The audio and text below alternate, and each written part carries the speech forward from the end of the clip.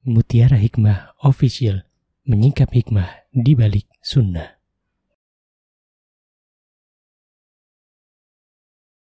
Salurkan donasi terbaik Anda untuk mendukung dakwah Mutiara Hikmah Official.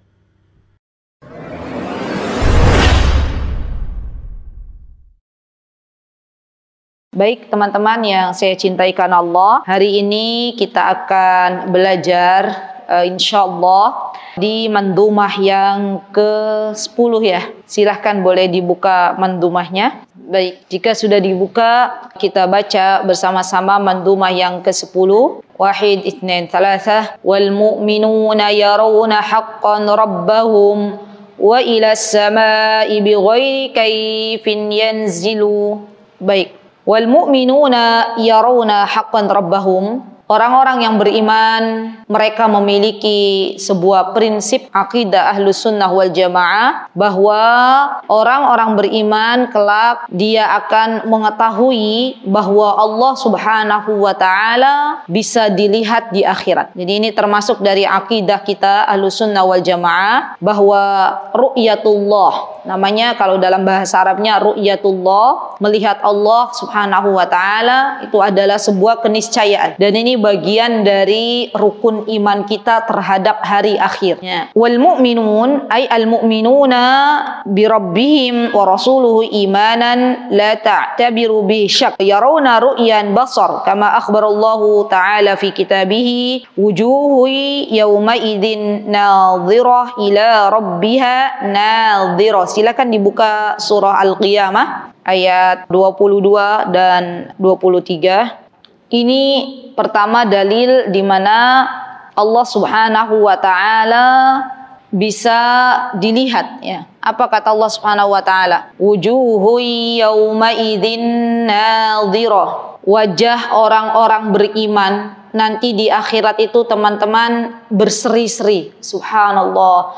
Wajahnya itu bukan wajah yang cemberut, tapi wajahnya itu bersinar. Subhanallah. Siapa yang memberikan itu?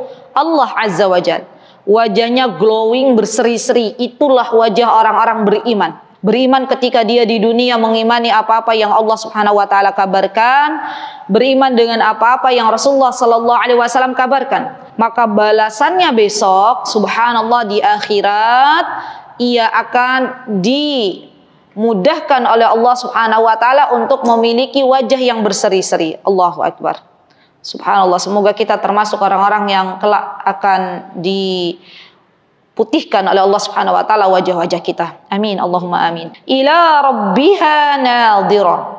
Setelah Allah memberikan bonus, ya Allah berikan bonus wajahnya orang beriman itu berseri-seri, kemudian Allah berikan bonus kembali. Bisa melihat wajah Robnya. Subhanallah. Allahu Akbar. Dan Rasulullah Sallallahu Alaihi Wasallam beliau mengatakan di dalam uh, hadis di antaranya tentang hadis uh, masalah ru'yatullah apa kata beliau? Dijabarkan oleh Jarir bin Abdullah. Jarir ini adalah seorang sahabi. Kata beliau kunna julusan inda Rasulillah sallallahu alaihi wasallam. Jadi ini kisah dibawakan oleh sahabat. Kata beliau dulu itu kami sedang duduk-duduk di samping Rasulullah sallallahu alaihi wasallam dan memang kebiasaan para sahabat teman-teman, mereka banyak menghabiskan waktunya untuk duduk bersama Rasulullah Sallallahu Alaihi Wasallam, karena mereka paham bahwa kelak nanti di akhirat kita itu bersama orang-orang yang kita cintai. Ya, kalau yang kita cintai adalah orang-orang salih, maka Allah akan masukkan kita ke dalam jannahnya. Kalau yang kita cintai di dunia adalah orang-orang yang gemar berbuat maksiat, tidak beriman kepada Allah, maka yang paling kita takutkan akan dimasukkan oleh Allah Subhanahu wa taala ke dalam neraka. Jadi para sahabat mereka dulu sering duduk bersama Rasulullah sallallahu alaihi wasallam. Kemudian idnadhara ilal qamar lailatal badr. Mereka duduk duduknya itu di malam hari ketika bulan purnama muncul. Saya mau tanya, bulan purnama tuh tanggal berapa Hijriyah, teman-teman? Tanggal Hah? tanggal tanggal 14 15 gitu ya. Hijriyah. Nah, disunahkan apa ketika tanggal tersebut? Disunahkan berpuasa. Ya. Waktu itu mereka sedang duduk bersama Rasulullah SAW dan melihat memandang ke bulan purnama yang begitu indah. Teman-teman pernah nggak waktu bulan purnama langit keadaannya nggak mendung bersih gitu. Terus teman-teman lihat apa yang teman-teman lihat keindahan enggak? Kita akan bergumam Subhanallah indah banget bulannya gitu kan ya? Subhanallah, bulannya besar banget. Subhanallah, bulannya indah dipandang mata. Begitu ya kira-kira ya teman-teman. Nah maka para sahabat waktu itu mereka sedang duduk-duduk bersama Rasulullah SAW melihat bulan purnama. Kemudian Rasulullah mengatakan, Innakum satarawna rabbakum kama tarawna qamar laylatal badr la tudamuna fi ru'yatihim. Lihat teman-teman. Kata Rasulullah begini. Ini perumpamaan. Tapi bukan berarti, saya jelaskan kembali, bukan berarti Allah itu seperti bulan purnama. Tidak, sama sekali bukan. Rasulullah ingin menjelaskan bahwa besok orang-orang yang melihat wajahnya Allah Subhanahu wa taala itu seperti ketika melihat bulan purnama, tidak berdesak-desakan. Coba misalnya satu kampung. Ini warga mana ini? Nggih, bangun tapan. Warga bangun tapan dikumpulkan punya lapangan enggak bangun tapan? Ada? Warga bangun tapan dikumpulkan di sebuah lapangan besar. Kemudian mereka melihat bulan purnama di tempatnya masing-masing di lapangan. Apakah perlu berdesak-desakan atau tidak? Semua bisa melihat ya kan. Bahkan gak harus datang ke lapangan, keluar rumah kalau bulannya pas lagi indah itu bisa terlihat. Begitu ya teman-teman. Nah Rasulullah SAW memberikan perumpamaan itu. Bahwa besok orang-orang beriman melihat wajahnya Allah tanpa berdesak-desakan. Subhanallah. Allahumma ja'alna minhum. Allahumma ja'alna minhum. Allahumma ja'alna minhum ya Rabb. Golongkanlah kami ke dalam orang-orang yang bisa melihat wajah Engkau nanti. Amin. Allahumma amin. Allahumma inna nas'aluka laddatan nadhari ila wajhikal karim. Allahumma inna nas'aluka bi asma'ikal husna wa sifatikal ula. An taj'alana mimman yanduru ilaika ya Rabb. Allahumma ya Rabbana la tahrimna an yandura ila laddatin nadhari ila wajhikal karim ya Allah. Ya Allah. Jangan Jadikan kami orang-orang yang tidak bisa melihat wajahmu. Jadikanlah kami yang hadir di sini semuanya orang-orang yang bisa melihat wajah engkau. Amin. Allahumma amin. Ya. Dan itu tidak berdesak-desakan teman-teman. Subhanallah. Maka pesannya Rasulullah SAW apa? Kata beliau pesannya fa inistata'tum an la taghlibu. Ini penting banget. Kalau kalian mampu, maka janganlah kalian tinggalkan ala salatin qabla tulu'i syams. Jangan kalian tinggalkan salat subuh. Ya, jangan ditinggalkan salat subuh kecuali ada udur. Ada udur syar'i, misalnya perempuan dia haid, dia nifas maka tidak salat subuh. Tapi kalau laki-laki, laki-laki tidak ada haid, tidak ada nifas, tidak ada halangan udur, maka laki-laki yang sudah balik dia harus wajib untuk salat subuh. Kalau kita ibunya nggak mau membangunkan, maka kita yang terkena dosa karena kita yang ada di dalam rumah. Ya. Jadi kita wajib membangunkan anak laki-laki kita yang sudah balik dan kita perintahkan untuk pergi ke masjid. Ya. Kemudian pesan yang kedua kata Rasulullah SAW, ya, dan juga kalian tidak meninggalkan sholat sebelum terbenam matahari. Maksudnya adalah sholat asar. Jadi pesannya Rasulullah SAW, kalau kalian bisa, maka jangan tinggalkan sholat asar dan sholat subuh. Karena ini biasanya yang banyak dilalaikan oleh manusia, ya kan? Sholat subuh, kenapa nggak sholat? Alasannya karena ketiduran, ya. Baru bangun jam 7. Kenapa bangunnya jam 7? Malamnya begadang. Kenapa nggak sholat asar?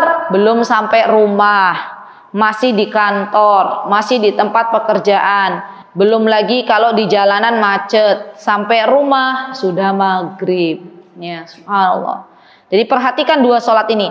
Tapi bukan berarti yang, di, yang kita laksanakan hanya dua sholat ini. Hanya sholat subuh dan sholat asar. Tidak. Semua sholat lima waktu diperhatikan lebih-lebih dua sholat ini. Ya lebih-lebih dua sholat ini. Itu sholat apa? Sholat subuh dan sholat asar. Baik. Kemudian teman-teman. Uh, hadis yang menyatakan adanya ru'yatullah bahwa Allah Subhanahu wa taala itu bisa dilihat itu uh, derajatnya sudah mutawatir. Apa itu mutawatir? Mutawatir itu dari jalur periwayatan yang sangat banyak. Mutawatir kalau dalam ilmu hadis ibu-ibu artinya yang meriwayatkan ru'yatullah, yang meriwayatkan tentang Allah itu bisa dilihat di akhirat itu banyak jalurnya ada dari jalur Abu Hurairah, ada dari jalur Ibnu Abbas, ada dari jalur ini, dari jalur ini sampai derajat mutawatir. Kalau sudah hadis sahih mutawatir berarti itu bisa dijadikan sebagai dalil, sebagai hujjah. Ya, subhanallah. Bahkan dikatakan oleh Ibnu Qayyim Al-Jauziyah, kata beliau dalam kitab beliau Haldil Arwah, ya. Ibnu Qayyim ini punya banyak kitab. Coba teman-teman, ada nggak kitabnya Ibnu Qayyim di rumah teman-teman? Di antara kitabnya itu ada kitab Miftah Darus Sa'adah. Punya nggak? Yang kedua, kitab Ada Iwad Dawa. Punya nggak? Enggak juga. Yang ketiga, kitab Fawaid. Punya nggak? Enggak juga. Yang keempat, kitab Zadul Ma'ad. Punya nggak? Yang kelima, Al-Jawabul Kafi. Punya nggak? Enggak juga. Lah yang punya apa? Padahal bukunya Imam Ibnul Qayyim itu bagus-bagus. Subhanallah. Ada buku beliau teman-teman uh, apa orang-orang yang merindukan surga itu juga bagus. Ya. Dan subhanallah uh, beliau sangat-sangat gemar untuk menulis. Jadi bukunya Imam Ibnul Qayyim itu banyak sekali. Teman-teman harus punya salah satunya, minimal satu lah ya. Minimal satu. Masa sebanyak itu kita nggak ada yang punya. Bagaimana kalau bahasa Indonesia? Boleh. Ya, yang penting dibaca, dipahami, diamalkan. Itu yang paling penting ya. Jadi yang namanya buku sebenarnya bukan cuma jadi pajangan, tapi dibaca. Minta sama Allah agar diberikan pemahaman, kemudian diamalkan. Ya, subhanallah. Kata beliau dalam kitab beliau Hadil Arwah, Imam Ibnu Qayyim mengatakan bahwa hadis yang meriwayatkan tentang ru'yatullah ini sampai 30 jalan rawiyah. Ya subhanallah, sampai 30 jalan periwayatan. Banyak nggak teman-teman? Banyak banget gitu ya, Masya Allah. Dan ini meyakinkan kita, menambah keyakinan kita bahwa yang namanya orang beriman melihat wajahnya Allah ini nyata. Kalau ada pertanyaan dari teman-teman, orang kafir bisa melihat wajahnya Allah nggak? Jadi keadaannya di akhirat bagaimana orang-orang kafir? Langsung masuk neraka, masya Allah. Baik, jazakillahu khair. Jadi melihat wajahnya Allah ini khusus spesial orang-orang beriman. Rizki dari Allah yang tidak Allah berikan kecuali untuk orang-orang beriman. Kenapa Allah berikan? Karena orang-orang beriman itu adalah orang-orang yang mengimani keberadaan Allah walaupun di dunia kita tidak bisa melihat Allah, gitu loh. Dan iman itu kan sebuah hal yang uh, apa istilahnya hidayah ya, sebuah hal yang kita cari gitu loh. Ada orang misalnya kalau kita nggak beriman kepada Allah dan Rasulnya, teman-teman diceritakan tentang kisah Isra Mi'raj Rasulullah diangkat ke atas langit, kemudian memakai kendaraan yang sangat cepat, dikembalikan lagi ke bumi. Kalau orang nggak beriman, yakin nggak dengan cerita itu? Nggak yakin, moso yo ono, gitu ya. Tapi kalau orang beriman, dia akan mengatakan saya telah beriman. Itulah bedanya orang beriman dan orang yang tidak beriman. Subhanallah. Baik. Kemudian Imam As-Sabuni rahimahullahu taala, beliau menyebutkan dalam kitab Aqidah Ashabul Hadis, ini juga bagus. Namanya As-Sabuni bukan sabun, ya. Sabun kan bahasa Arabnya sabun. Ini nama ulama, namanya As-Sabuni. Ya, Masya Allah. Beliau punya kitab bagus teman-teman, namanya Aqidah Ashabul Hadis. Kata beliau, kita ahlu sunnah wal jamaah meyakini dengan seyakin-yakinnya bahwa kita besok akan bisa memandang wajahnya Allah subhanahu wa ta'ala. Subhanallah. Dan Rasulullah SAW pernah menyebutkan teman-teman bahwa besok nih, bayangkan ya, penduduk surga itu sudah masuk ke dalam surga Allah subhanahu wa ta'ala. Kemudian Allah berkata kepada penduduk surga, apakah kalian ingin diberikan tambahan nikmat? Maka penduduk surga adalah orang-orang yang tahu diri, ya kan? Orang-orang yang bukan orang-orang yang meminta jantung, apa gimana? Peribahasanya orang yang nggak tahu diri itu apa? Minta hati, minta jantung, gimana? Dikasih hati, minta jantung, uh, gitu ya? Bukan orang-orang yang dikasih hati, minta jantung nggak? Ketika Allah Subhanahu wa taala bertanya, "Inginkah aku tambahkan sebuah nikmat?" Maka penduduk surga mengatakan, "Nikmat mana lagi wahai Rabbku?" Kami telah diputihkan oleh Engkau, kami telah diberikan segala kenikmatan. Jadi bayangkan aja penduduk surga itu ketika duduk ya di dalam surganya apa yang mereka inginkan Allah dekatkan. Tanpa bersusah payah kita menginginkan sesuatu tanpa bersusah payah kita mengusahakan sesuatu seperti kita mengusahakan di dunia. Allah akan dekatkan semuanya. Kemudian Allah Subhanahu wa taala mengatakan apa kata Allah Subhanahu wa taala? Maka kata Allah Subhanahu wa taala, aku akan memberikan pemberian yang lebih yaitu kalian bisa melihat wajahku. Subhanallah, subhanallah, Allahu akbar. Kemudian Rasulullah sallallahu alaihi wasallam mengatakan alladzina ahsanul husna wa ziyadah. Ziyadah di sini maksudnya tambahan nikmat dari Allah. Apa itu? Bisa melihat wajahnya Allah Subhanahu wa taala. Jadi tenang teman-teman. Kita orang-orang beriman sekarang di dunia. Kalau kita diolok-olok oleh orang-orang yang tidak beriman, ah Tuhanmu nggak kelihatan, gitu ya misalnya. Kan misalnya begitu orang-orang beriman bilang begitu. Ah Tuhan kalian, Tuhannya orang Islam itu nggak kelihatan. Sholat nggak nyembah apa-apa misalnya. Maka kita katakan karena Rob kita berbeda dengan kita dan kita tahu kalau Allah Subhanahu wa taala pernah diminta oleh Nabi Musa untuk diperlihatkan ternyata matanya Nabi Musa yang tidak kuat gitu ya. Allah Subhanahu wa taala berkata kepada Nabi Musa, "Wahai Musa, lihatlah gunung. Kalau gunung itu berdiri kokoh, saya akan memperlihatkan kepada gunung. Kalau gunung itu tetap berdiri kokoh, maka engkau bisa melihatku." Ya, Allah akan berikan pelajaran kepada Nabi Musa.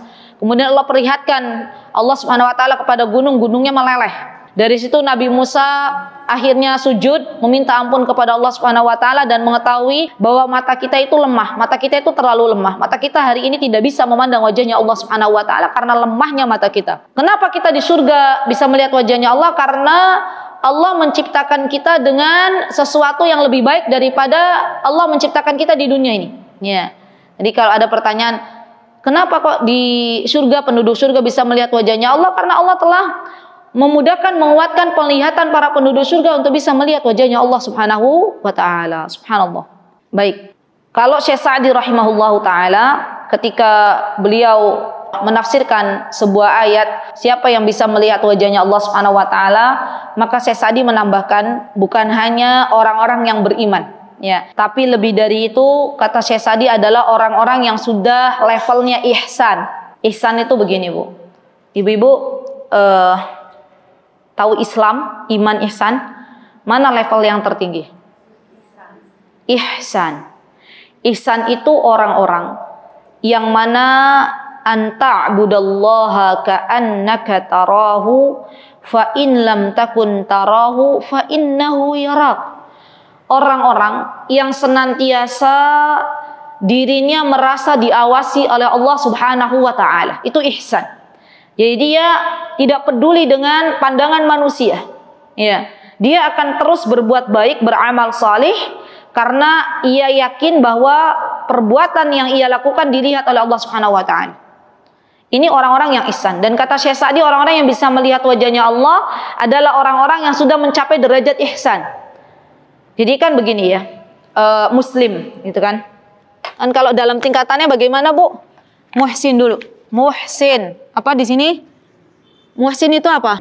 Orang beriman. Mu'min. Baru muslim. Muslim, mukmin, muhsin. Muhsin. Ada orang mengaku dirinya beragama Islam. Tapi bisa jadi ketika dia mengaku dia muslim, bisa jadi dia meninggalkan salat. Berarti disebut mukmin atau belum? Belum. Tapi baru mus muslim. Kalau ada orang muslim, KTP-nya Islam, ia pun mengerjakan rukun Islam, salatnya dijaga, puasa Ramadannya dijaga, semuanya dijaga, maka dia masuk ke dalam derajat mana? Mukmin, orang-orang yang beriman. Tapi orang-orang yang beriman juga berbeda-beda ibu-ibu. Ada orang-orang yang beriman, dia berpuasa, ia sholat, tapi tujuannya bukan untuk mencari ridho Allah. Tujuannya biar mendapatkan misalnya wanita yang bisa dinikahinya. Misal, Tujuannya biar dapat pujian manusia. Oh, fulana dia orang yang rajin ke masjid. Oh, fulana dia orang yang rajin bersedekah. Oh, fulana dia orang yang rajin uh, membaca Al-Qur'an. Misal contohnya. Maka dia sesungguhnya belum masuk ke derajat muhsin. Karena dia tidak yakin bahwa apa yang ia kerjakan dilihat oleh Allah Subhanahu wa taala. Dan kita itu rata-rata masih berada di derajat mukmin, ya enggak? Nah, maka orang-orang yang sudah masuk ke derajat muhsin ini adalah hamba-hamba pilihannya Allah Subhanahu wa taala. Ketahuilah wahai saudariku, seseorang yang ia melihat di dalam kehidupannya tujuan utamanya hanyalah Allah, itu akan Allah ringankan hidupnya. Karena dia paham celaan manusia, komentaran manusia tidak berpengaruh terhadap amal soleh yang ia lakukan. Yang paling kasihan itu adalah wanita-wanita yang dia senantiasa melihat komentar orang lain. Contoh, misal kita mau berpakaian, kita mau berpakaian, gitu ya, mau pakai kerudung kan untuk aurat ya, itu ibadah bukan? Ibadah. Ketika berpakaian, ketika kita pakai kerudung, kita katakan ya Rob, ini adalah sebuah ibadah. Kalau saya pakai kerudung ini, maka engkau ridho karena jalan menutup aurat saya. Ringan nggak bebannya bu? Ya pakai kerudung asal pakai aja Bismillah. Baca doa Allahumma ini as'aluka Allahumma alhamdulillahilladzi kasani hada thawb. Gitu kan doanya wa razaqanihi min ghairi haulin minni wala quwwah. Sudah dia pakai Bismillah semoga engkau berikan pahala selama hamba memakai kerudung ini. Wanita-wanita yang dia masih derajat mukmin pakai kerudung terus masih mikir-mikir nanti bagaimana kata orang gitu ya. Kerudungku nyentrik nggak sama bajunya kacamataku nyentrik nggak sama kerudungnya, tasnya nyentrik nggak kan begitu ya? Dan itu kan butuh waktu nggak untuk di kacanya tuh lebih lama gitu. Belum lagi nanti ada hiasan-hiasan yang lainnya. Kira-kira menurut ibu-ibu ribet nggak? Kan lama dia matching-matchingin baju, matching-matchingin kudung kan tujuannya nanti gimana kata orang. Nanti orang lain bilang, ih kudungmu nggak matching banget sama bajumu, gitu ya. Kaos kakinya kok nggak matching banget. Ya. Itu sebenarnya teman-teman capek hatinya. Iya, betul, capek hatinya. Kenapa? Karena yang dipikirkan oleh dia adalah kata orang. Ya. Dan ini masih derajatnya mukmin. Maka saya ajak diri saya dan teman-teman orang yang ikhlas ya. Orang yang dia benar-benar mengharap wajah Allah, orang-orang yang muhsin adalah orang-orang yang memang dia sudah taraf hidupnya itu tujuan utamanya Allah tuh ridho. Subhanallah dan ini hamba-hamba pilihan Allah Subhanahu wa taala. Ya, hamba-hamba pilihan Allah Subhanahu wa taala. Pokoknya yang penting Allah ridho, bismillah saya nggak menyakiti teman saya, saya nggak menyakiti saudara saya, mau dibilang apa ya wis rapopo. Gitu ya. Itu Masya Allah. Jarang orang-orang seperti itu. Dan bersyukurlah kalau Allah jadikan teman-teman orang-orang yang seperti itu. Insya Allah hidupnya akan mudah, dimudahkan oleh Allah Subhanahu wa taala dan diringankan langkahnya. Ya kan? Diringankan langkahnya. Baik. Kemudian akhwati fillah rahimani wa rahimakunallah setelah kita tahu ya bahwa kata Syekh Sa'di rahimahullah taala orang-orang yang bisa melihat wajahnya Allah adalah orang-orang yang muhsin. Maka kemudian beliau uh, mengatakan dan di antara orang-orang yang bisa melihat wajah Allah adalah orang-orang yang bertakwa. Bertakwa di sini berarti ketika dia beramal soli hendaklah dia mendahulukan dengan ilmu dan ini penting ya akhwat. Teman-teman terkadang kita melakukan sebuah amal soleh tapi kita tidak tahu untuk apa. Ya, padahal itu semuanya ada ilmunya. Dan kalau kita tahu ketika misalnya kita sholat yang memerintahkan sholat adalah Allah Subhanahu Wa Taala. Sholat akan mendampingi kita di gelapnya kubur. Contohnya, sholat akan menggugurkan dosa-dosa kita. Maka kita ketika tahu ilmunya itu kita akan lebih bersemangat lagi untuk sholat, ya kan? Beda dengan orang yang dia sholat tapi cuma ikut-ikutan. Hanya uh, apa? Menggugurkan kewajiban. Maka sholatnya tidak sebaik orang yang dia tahu ilmunya. Dan di sini pentingnya seseorang berilmu terlebih dahulu sebelum beramal. Nih catat ya teman-teman, kenapa sih kita itu harus ngaji? Kenapa kita itu harus duduk di majlis ilmu? Karena di antaranya kita akan merasakan perbedaan yang sangat dalam ketika kita melakukan sebuah amal solih dibarengi dengan ilmu, dengan melakukan amal solih tidak dibarengi dengan ilmu. Betul. Ada orang baca Al-Quran, contoh misalnya, dia ah karena saya tidak enak sama anak saya, Masa anak saya baca Quran, saya megang HP, ya wis lah saya ikutan baca Quran. Baca Qurannya karena siapa? Karena anak. Anaknya selesai baca Quran sudah selesai. Tapi orang-orang yang beribadah kepada Allah baca Al-Quran dia tahu oh iya Al-Quran besok kelak akan mendukung saya, akan memberikan hujah kepada saya. Al-Quran ini kalau saya baca besok akan memberikan syafaat di hari di mana semua orang meminta syafaat dari Allah Subhanahu wa taala. Al-Quran ini akan menemani kehidupan saya di kubur. Al-Quran ini akan bisa menolong saya ketika matahari sangat panas. Apa kata Rasulullah SAW? Barang siapa yang rajin membaca Al-Baqarah dan Al-Imran, maka besok Al-Quran akan menaunginya. Jadi saya itu bayangannya gini loh teman-teman di dunia ini. Kalaulah, tapi jangan pernah dibandingkan panasnya dunia dengan panasnya akhirat ya. Kalaulah di dunia ini ambillah ada cuaca yang sangat panas 50 derajat. Misal, contoh, ini contoh perumpamaan di dunia. Terus di tengah lapangan tuh diberdirikan tenda atau payung yang sangat besar.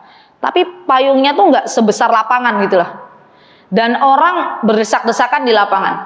Kemudian ada yang berkata dari panitia misalnya ada inilah ada apa ada acara gitu panitianya bilang yang bisa masuk ke payung ini adalah uh, orang-orang pilihan VIP-nya gitu loh. Biar nggak kepanasan atau tenda ini yang bisa masuk ini orang-orang pilihan yang punya barcode misalnya ya di barcode gitu misalnya. Yang bisa masuk sini atau ruangannya misalnya ber AC siang hari di situ di tengahnya tuh ada tenda di, di mana tendanya ada AC-nya gitu.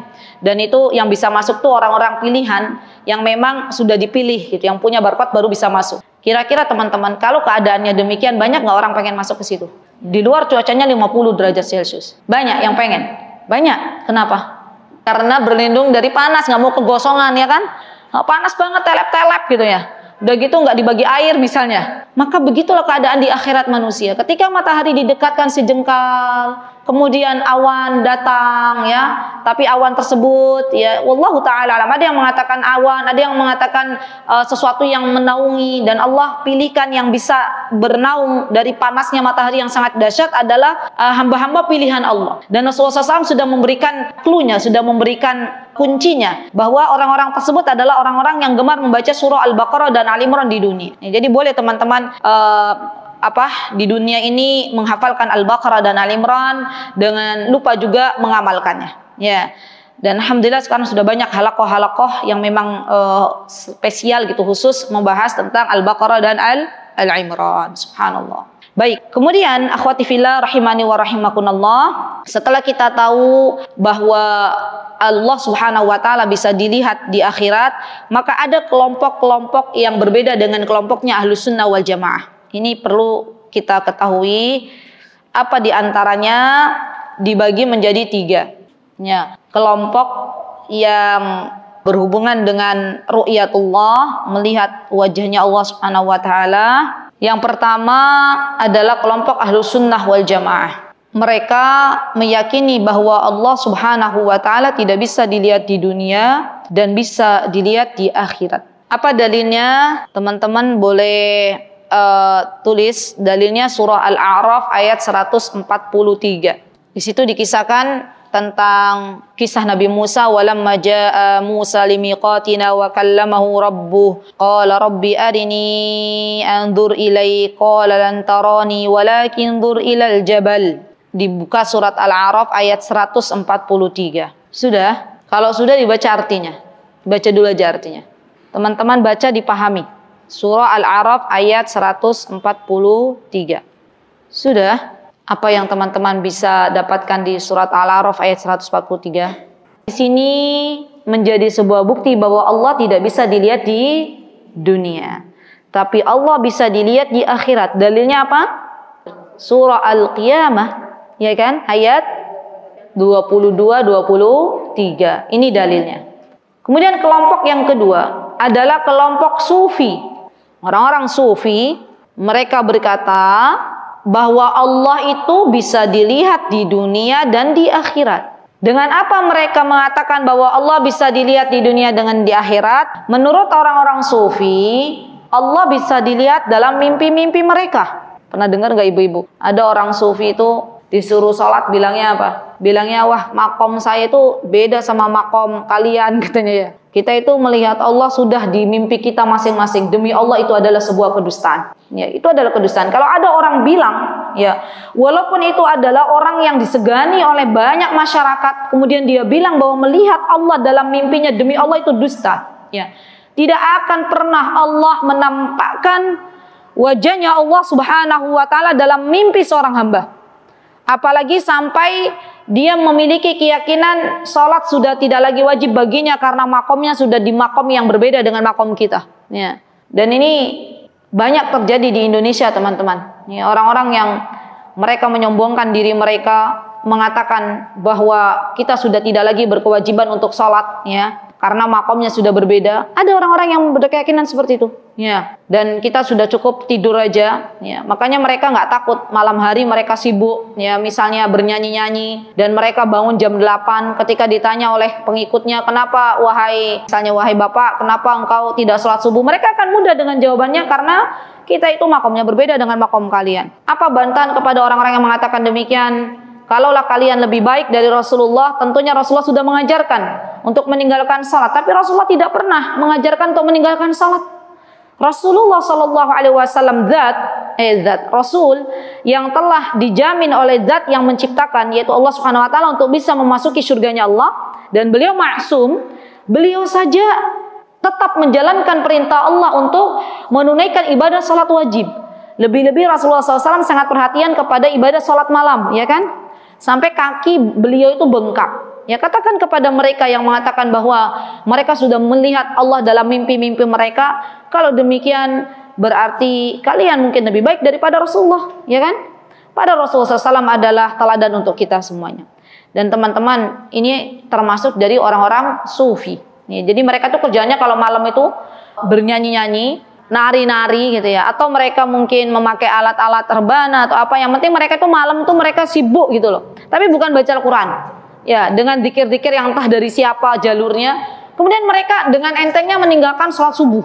Ya bangun jam 7 bangun jam 8 ya. Dan mereka mengatakan kita sudah tidak lagi ada kewajiban untuk sholat. Naudzubillah summa naudzubillah mereka meyakini bahwa Allah itu bisa dilihat di dunia dalam mimpi mereka dan juga bisa dilihat di akhirat Kelompok yang ketiga adalah kelompok Mu'tazilah dan Jahmiyah. Kelompok Mu'tazilah dan Jahmiyah adalah kelompok yang kebalikannya Sufi. Kalau Sufi bilang melihat Allah di dunia dan di akhirat, kalau orang Mu'tazilah sama Jahmiyah bagaimana ibu-ibu? Betul. Mereka mengatakan dan meyakini bahwa Allah tidak bisa dilihat di dunia dan di akhirat.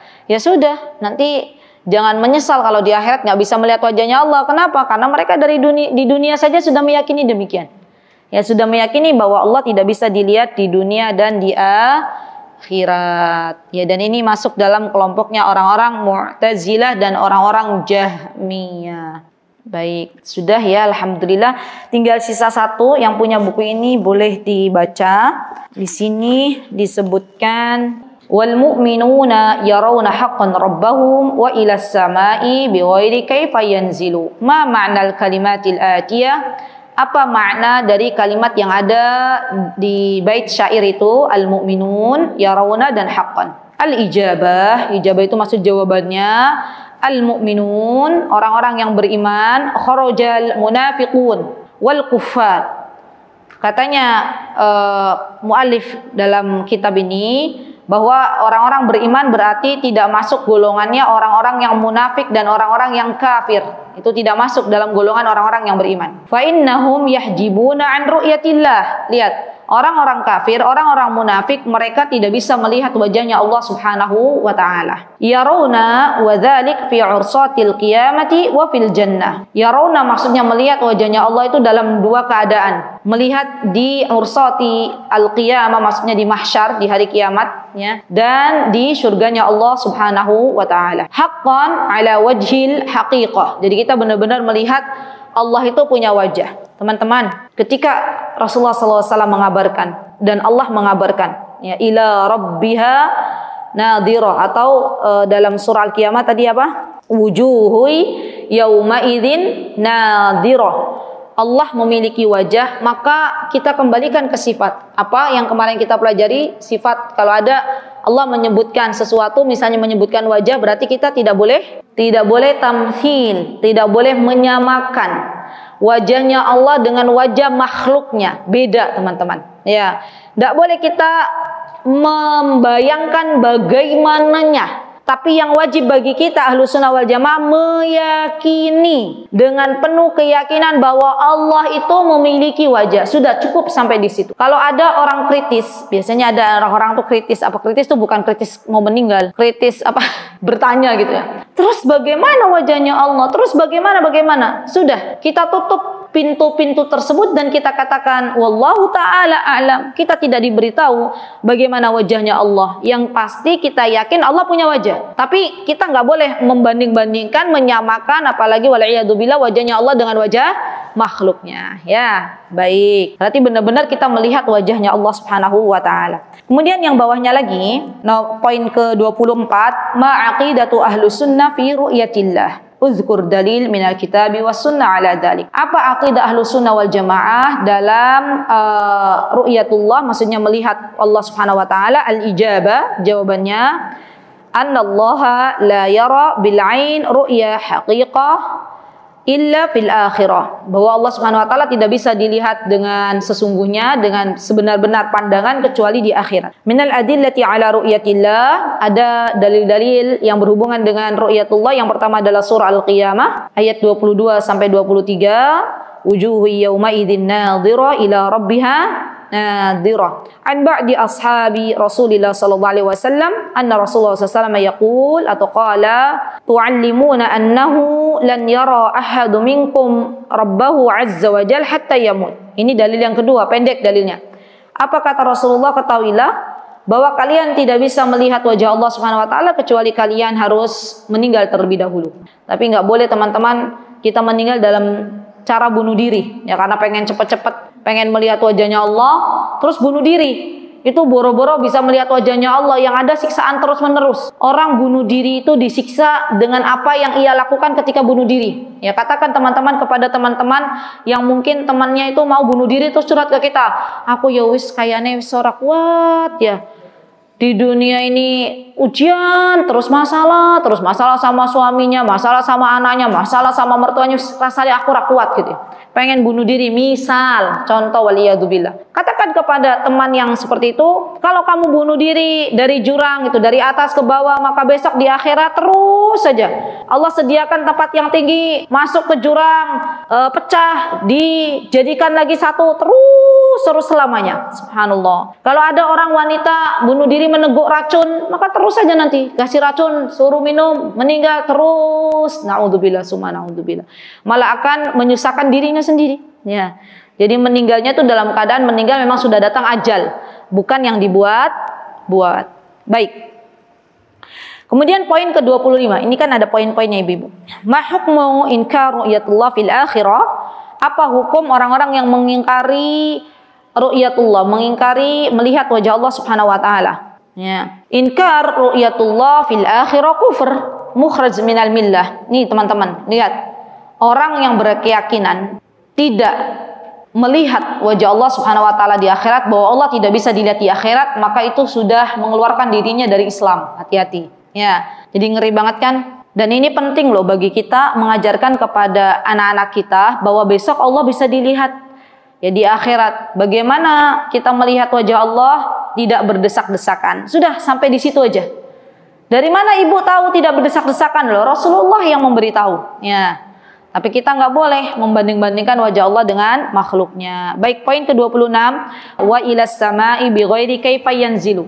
Bahwa Allah Subhanahu wa taala turun ke langit dunia di sepertiga malam. Waddihil kalimatil atiyah wa ilas sama'i bi ghairi yanzilu. Tolong jelaskan kalimat-kalimat di bawah ini al-ijabah jawabannya.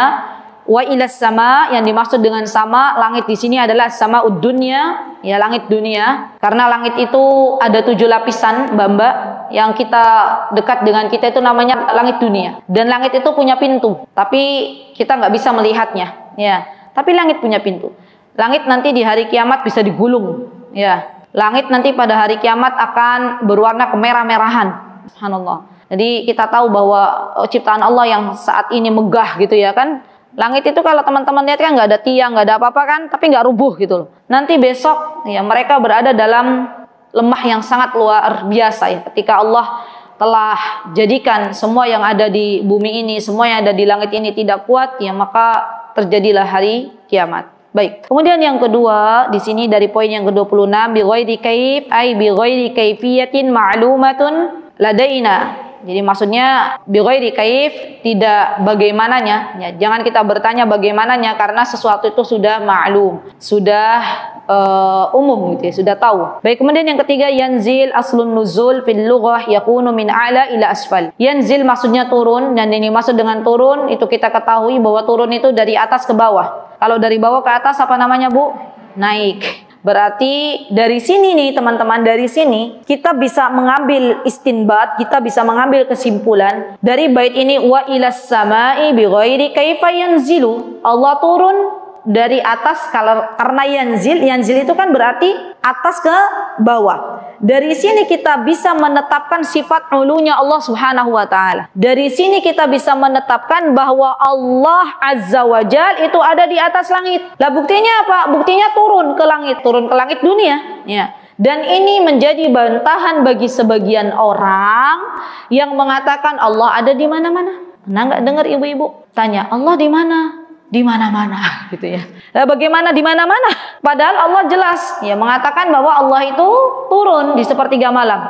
Yang namanya turun tuh dari atas ke bawah. Berarti Allah ada di langit, tapi bukan langit dunia. Kapan Allah turun ke langit dunia di sepertiga malam? Kemarin kita sudah hitung bersama sepertiga malam mulainya jam 1, ya kan? Sampai azan subuh ya.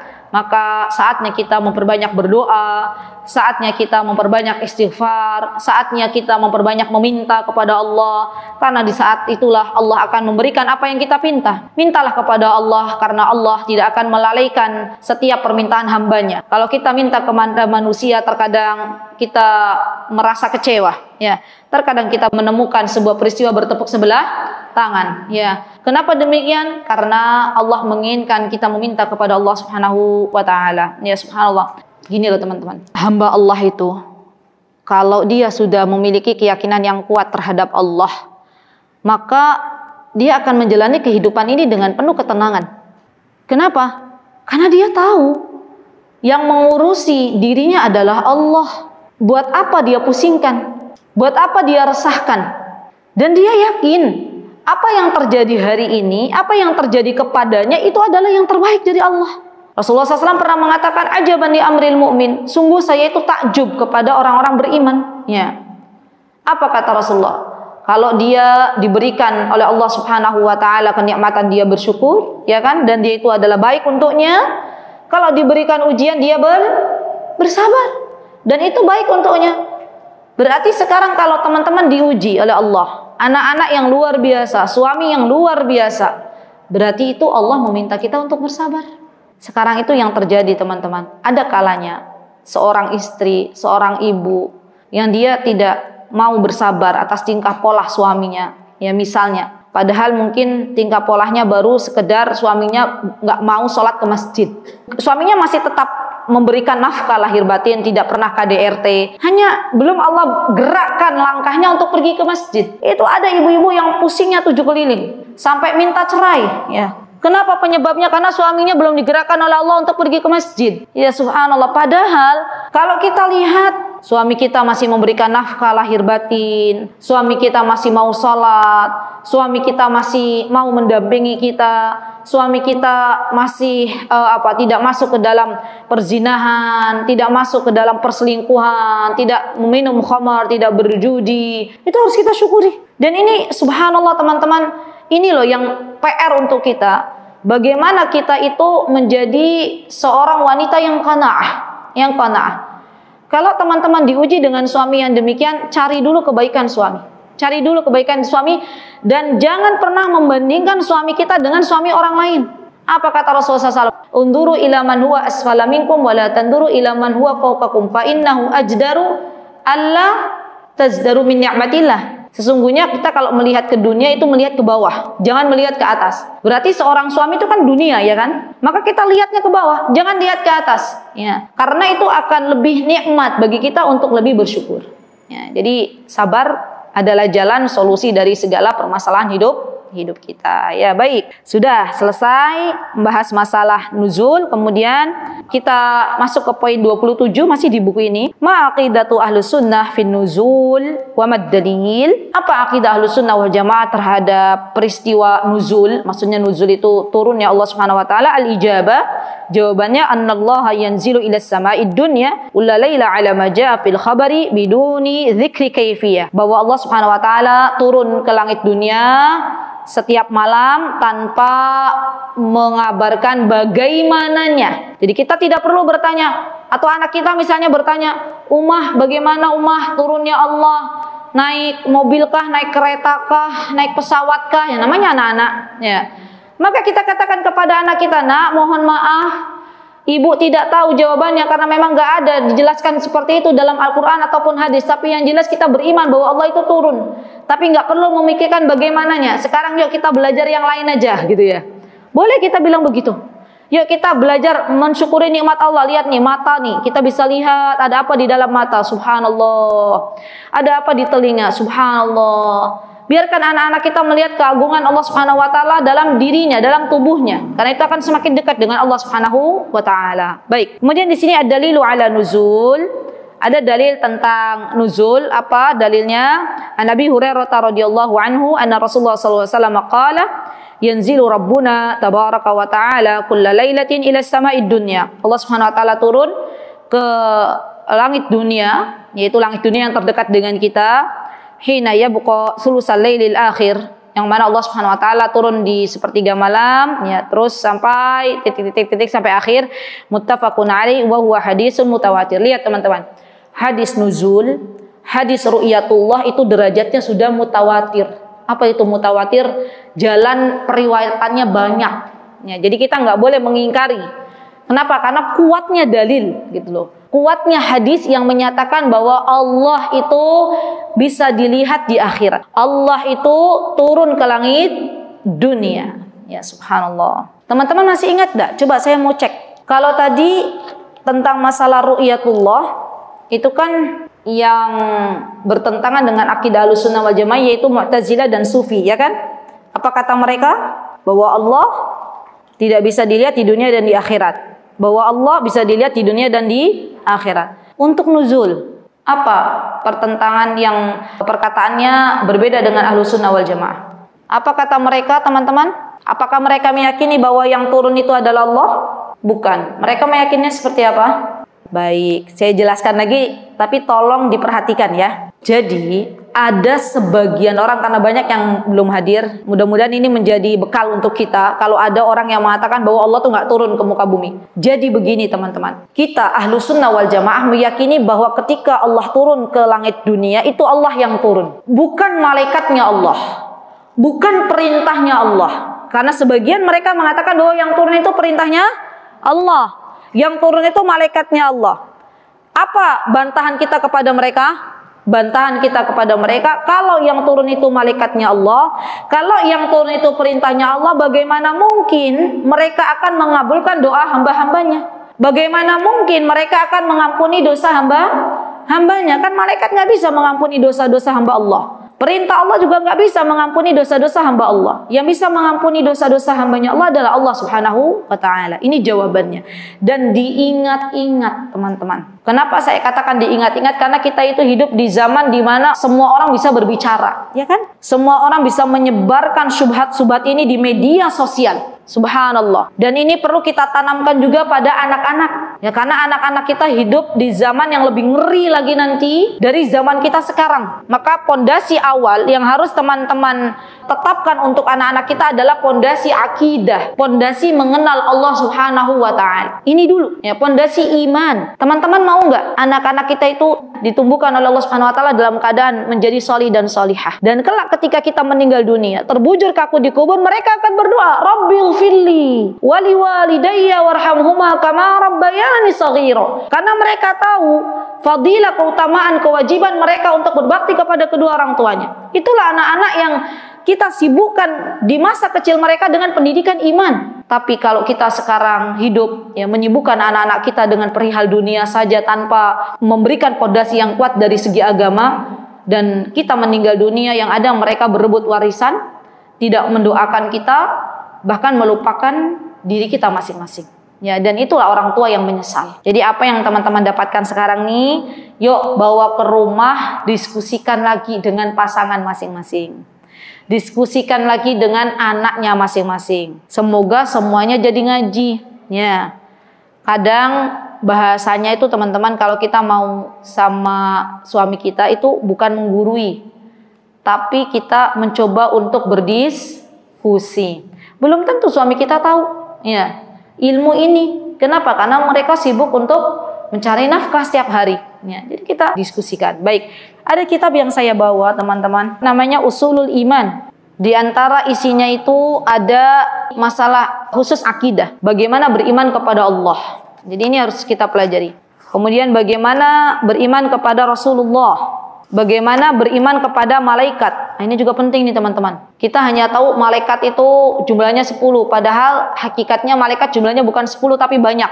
Ya kan? Kemudian isinya bagaimana beriman kepada kitab-kitabnya Allah.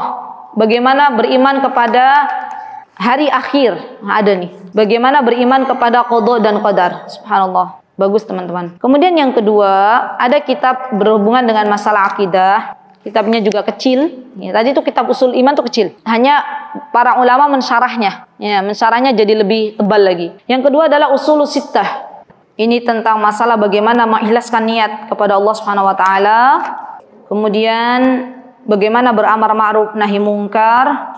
Kemudian bagaimana menghayati firman Allah Subhanahu wa taala tentang orang-orang yang beriman kepada Allah Subhanahu wa taala dan bagaimana menjawab subhat-subhat yang ada di di zaman sekarang ini. Jadi, subhat-subhatnya apa? Kemudian kita ada jawabannya di sini di Syarah Usulus Sittah. Ya, masya Allah.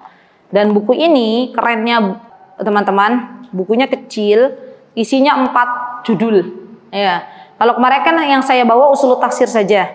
Ya, ternyata ini tuh ada empat judul. Ada usulul iman, ada usul tafsir, ada usul sita, ada usul min ilmi usul. Dan ini teman-teman, buku yang dulu menjadi rujukan utama bagi para penuntut ilmu yang pemula. Ya, namanya Rosail fil Usul. Jadi satu buku ini isinya empat kitab. Rosail fil Usul, punyanya Syekh Utsaimin. Muhammad bin Saleh Al Utsaimin. Wallahu taala alam apakah sudah ada dalam bahasa Indonesia? Kalau sudah ada, teman-teman beli. Namanya Rosail fil Usul. Rosail itu jamak dari risalah. Ya, risalah itu artinya surat-surat atau kumpulan-kumpulan usul. Al-usul itu pondasi. Bagus sekali. Ya, subhanallah. Baik, itu yang bisa saya sampaikan, teman-teman. Jikalau ada kebenaran datangnya dari Allah Subhanahu wa taala, jikalau ada kesalahan datangnya dari saya pribadi. Mutiara Hikmah Official menyingkap hikmah di balik sunnah.